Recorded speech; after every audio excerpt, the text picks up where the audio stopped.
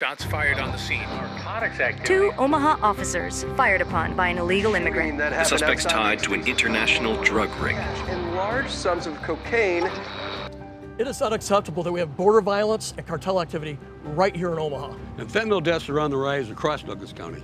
That's why I voted to finish the border wall, reinstate Remain in Mexico, and provide more resources for our Border Patrol.